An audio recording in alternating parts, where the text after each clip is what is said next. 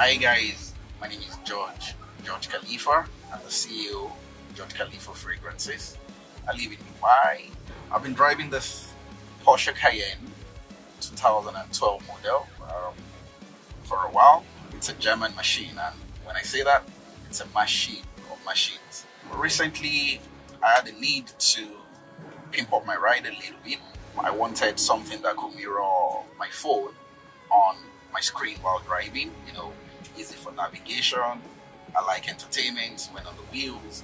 I needed something that could, you know, access pictures. And I got a very good recommendation from a couple of friends that have done things in the past with Caronic. And I visited Caronic today and they recommended this Clayton product. And I tell you guys, this is a wow. This is a wow product. It does just everything the way I wanted it. So now I've got my phone which is regular, I've got my GPS, I've got my music, virtually everything. This is complete mirror of my phone. Guys, you need to pimp your ride, visit Caronic.